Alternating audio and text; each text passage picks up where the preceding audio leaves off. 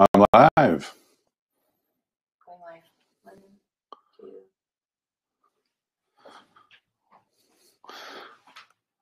All right. Hello, Prego Expo. Today we are talking about seatbelt safety and pregnant women.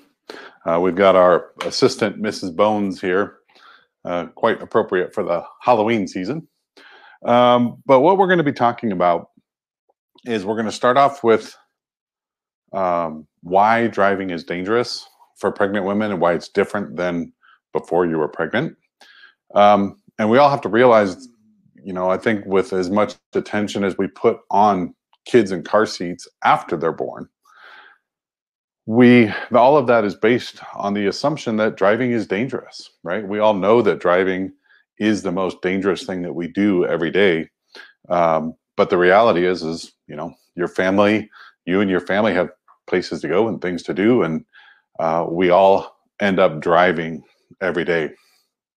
Um, at Safe Ride for Kids, our mission is to help equip you to do to to eliminate as many or mitigate as many of the risks as possible. Um, and we do that by providing you with really innovative products and really awesome, up to date, current, accurate education and information via our website, saferideforkids.com. Uh, I'm Greg DeRocher, uh, and I'm a I'm the co-founder with my wife Amy, and I'm the CEO of Safe Ride for Kids. And my previous career was as a firefighter paramedic, so I saw firsthand uh, the the reality of the dangers of driving. And it was obvious uh, when we uh, started our company in 2012 that we wanted a dual mission. We wanted the product side with the revenue side, uh, but we also wanted the education side because I've been a certified child passenger safety technician since 2000. I've actually been certifying technicians in that uh, program since 2001. So I was a safety advocate long before I started a business in this industry. And my wife Amy joined us, uh, or joined me as a certified technician shortly after we met in 2003, 2004. She became a tech as well. So we are a team of certified child passenger safety technicians who take your and your family's safety very seriously. And uh, that's why we're here talking to you today. So, what we're going to start with is uh, helping with an understanding of how the seatbelt actually works as far as the adult skeletal structure. How does the seatbelt work? So, the way that uh, we decided was the best to do that was to show you on a skeleton what are we talking about here when we're talking about the seatbelt. So the principles of all restraints, whether it's a child's car seat or the adult occupant, is to contact the strongest po- parts of the body, the bony parts of the body. So for the shoulder belt, that's coming across the rib cage and the shoulder. And you can see that here, obviously. Down here at the lap, if you reach down and feel your two hip bones, that's what the lap part of the seatbelt is intended to engage. And you can see here on Ms. Bones that the seatbelt on the adult occupant is engaging with those hip bones. So in a crash, if we simulate forward movement, the lap portion of the seatbelt is catching the lower body at the hip bones. Now that's all well and good until you're pregnant. Once you're pregnant, this area between the hip bones, the lower abdomen, is where your baby, where your uterus is developing. And as the baby gets bigger and this seatbelt is held out in front of your hip bones by the pregnancy, and your seatbelt is no longer able to engage with your hip bones, that's the danger. That's the risky part. And uh, before we started our, you know, carrying the tummy shield as a product that solves this problem, we needed to understand how big is this problem. As a paramedic, I knew that a pregnant woman was a high risk patient. That's obvious, right? I didn't know how many pregnant women were involved in car crashes every year. um, once we dug into the statistics, we learned that about 170,000 pregnant women are involved in car crashes every year. There's about 5 million reported car crashes and about uh, 5 million unreported minor fender benders. So that's a total of about 10 million car crashes every year. About 170,000 of those involve pregnant women. But how many pregnancies are lost? How many uh, babies uh, are, and how many pregnancies end in miscarriage as a result of car crashes? The reality is, we don't really know. There have been many studies done, and we have a link to those on our website. Um, but the number is somewhere from several hundred, you know, about 500 pregnancies a year that are lost. Other studies concluded about 7,000 pregnancies are lost every year.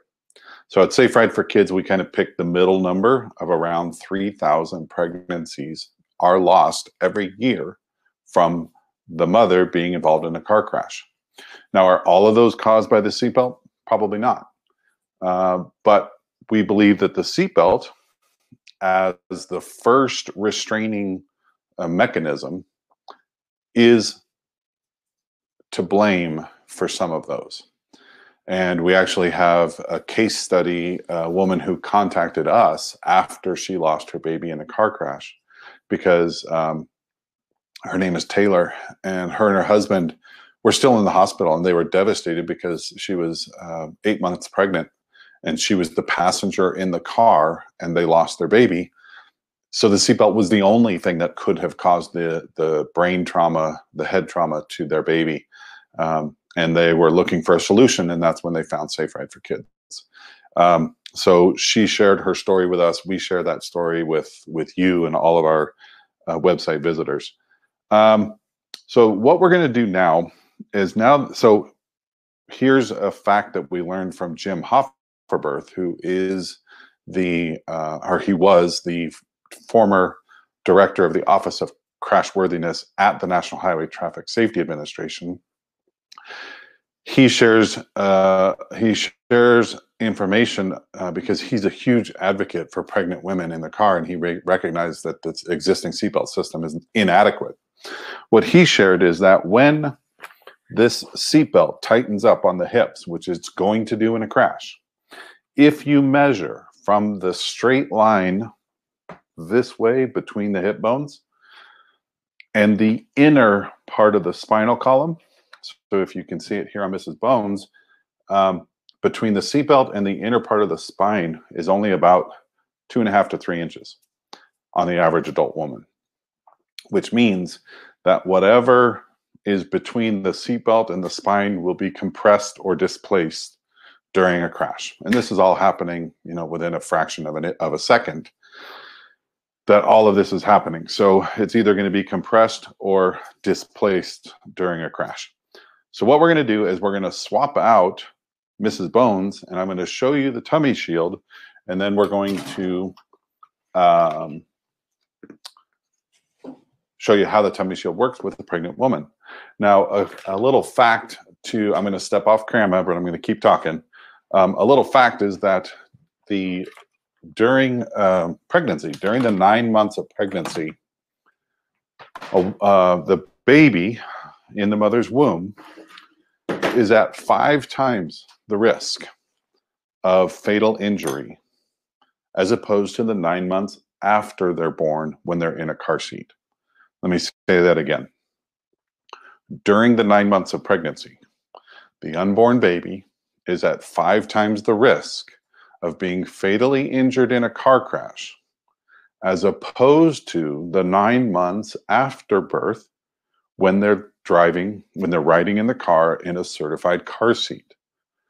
So the baby is at higher risk during pregnancy than they are after they're born. Now, that five times number actually only came from cases where the mother died in the crash also. So, what does that mean? That that five times risk might be higher 10 times We don't really know. And the reason we don't know is because there's no mechanism to track miscarriage or the cause of miscarriage in the medical system. There's just nowhere to document if mom was involved in a crash and it resulted in a fatal injury, uh, a miscarriage, or a stillbirth. So that's you know a reality of our tracking system in the medical industry. So this is the tummy shield. This is the product that we're talking about today. Um, this is how it comes out of the box. You can see here is a metal anchor point. This is open on the front so that the seat belt can slip into the product. So it's it's kind of a it's open at the front. So you can slip your seatbelt in here and I'll show you how that works in a second. This strap here is made to go around the back of the vehicle seat back and anchor in. What this is doing is this anchor is not actually holding you, the occupant. This strap is intended to hold the tummy shield in place so that as you're getting in and out of the car, it's not moving. If the tummy shield is um, not being used, say in the passenger seat while somebody else is driving, then we're going, we can um, it, that strap is going to hold the tummy shield in place. I'm going to adjust the camera just a second here. And hopefully that will give you, a, now you can see the anchor point here, right? All right, good. Um, now this piece here is an extender that changes how far forward this anchor point is in relation to the seat back here. And it's made for different size occupants. we're going to talk about other uh, products that you can find on the market at the end. But the distance where this anchor point is in relation to the occupant's crotch, and their legs, is a huge safety issue. So this is how the tummy shield is going to be sitting in the car. I'm going to grab our other mannequin here, which is intended to represent a pregnant female. So this is what we're talking about here. We got the baby bump here, and I'm going to install the seatbelt. Now, you may have noticed that the tummy shield has some thickness to it. It's about an inch and a half thick. So it's going to elevate you. It's going to lift you up in the car about an inch and a half. But it is made of foam, so it will compress. and real quickly here, what I'm going to show you is what's actually inside the tummy shield that you don't see. What's inside the tummy shield is a single piece cast stainless steel plate that is then molded into foam and the strap is anchored to the steel plate right here. So no other product on the market is made of stainless steel with that is engineered and crash tested to be strong enough to support you and restrain you, the adult occupant in the car. The tummy shield has been tested to be at least as strong as the seatbelt itself. I believe it's actually stronger, but we haven't actually run that test yet. So um, this is what you wearing your seatbelt would look like. The seatbelt, if you're like my wife Amy, is annoying. It's being held forward of your hips by your pregnancy. There is no under the baby because in when she was pregnant, the belly, I mean, her pregnant belly was sitting on the tops of her thighs in the car. That was just the reality. So the tummy shield is going to work by just introducing some slack into the system you drop that slack down in between the legs and anchor it into the tummy shield and then just snug up the seatbelt. Now, the mother, the adult occupant, is being restrained by her hips or by her femurs, by her legs, in what feels like a leg harness, as opposed to the lap portion of the seatbelt coming across here. The shoulder belt is still going to be coming cross mid chest, mid shoulder between the breasts. That is the correct way for the upper body, upper seatbelt to work. All that we're changing is the lap portion of the seatbelt. So that's the tummy shield. We believe it is absolutely by far, hands down, the best, safest option on the market today. Um, so, what are some other tips that you can uh, implement when you're using or when you're driving? Whether you're using the tummy shield or not, you should be a passenger whenever possible. Uh, what that's going to do is that's going to mitigate the steering wheel being a part of the of the equation. You should, if you are driving, push yourself back away from the steering wheel as much as possible.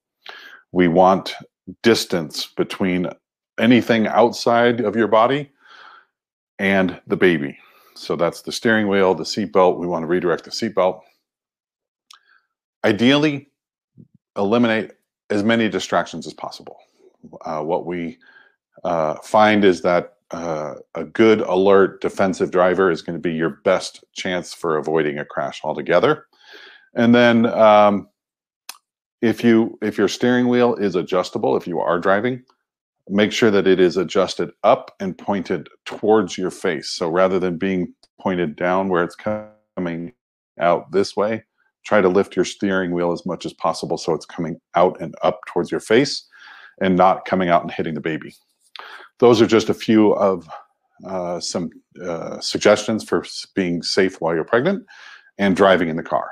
The other thing, uh, go to our website. We have a full ebook that you can download. And if you do decide that you're going to purchase a tummy shield today, you can use the Prego 2020 for a $15 discount. That's P R E G O 2020, no space, as the coupon code. And that'll give you $15 off the, the tummy shield. We are going to link to our website, to all of the education information, uh, a link to the studies. All of that will be in the chat. It'll also be uh, on our page here in the Prego Expo for the next couple days as long as the Prego Expo is going on. We'll be in and out. Uh, I do believe we have some time scheduled uh, to be live in our booth. Uh, but if you have any questions, feel free to reach out to Amy and I. Um, we are happy to help. And as a last thing, let's just talk real quickly about some of the other products on the market. For example, um, these are some of the other products that are out there. This one is made of foam and straps and elastic. Um, this one is made of plastic and it tries to do the same thing as the tummy shield, but it's made of plastic and it's way out here at the knees or at the edge of the seat. So it's moving the anchor point forward. So this occupant, and this is for a bunch of the knockoffs on that you'll find out there, moves the anchor part anchor point too far forward. So the occupant is going to slide forward, slam into this, uh, uh, slam into the seatbelt out here. The product is not engineered to withstand crash forces, so it'll probably fail, which will then lead to additional excess seatbelt into the system. So the occupant's going to fly forward again. All horrible for you as the pregnant mother and your unborn baby. So check out the tummy shield. It is by far the best on the market. Um, we're happy to help in any way we can. Uh, we do have another cool product on our website called the Ride Safer Travel Vest. If you already have toddler age children, uh, it is a great solution for going on vacation or fitting three kids in the back seat or uh, rideshare taxi moms. Check it out. It's called the Ride Safer Travel Vest. And please join our Facebook group. And we're happy to be a part of your family helping you arrive every single time. So thanks for joining us today. Um, if you, again, if you have any questions,